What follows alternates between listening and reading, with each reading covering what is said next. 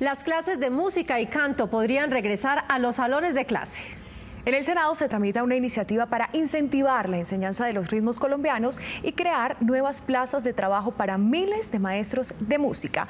Con esta nota llena de optimismo los invitamos a nuestra emisión de la próxima semana. ¿Nos vemos? Claro que sí, nos vemos.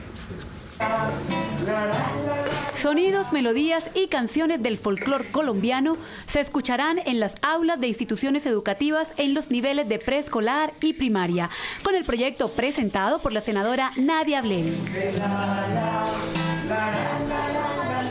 La inclusión de la cátedra de música, que sería obligatoria en la educación básica, ayudaría al fomento de la disciplina, por ser considerada en la pedagogía como una gran herramienta lúdica.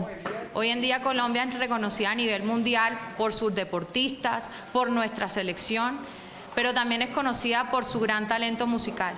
Y lastimosamente hoy en día en Colombia no contamos con esas herramientas, por eso presentamos esta iniciativa que busca que en Colombia se consagre la cátedra de música. Este proyecto de ley pretende reconocer la música como instrumento de transformación social, bajar los índices de violencia y brindar nuevas oportunidades y ofertas laborales para los más de 4.000 artistas y docentes que se gradúan anualmente en el país.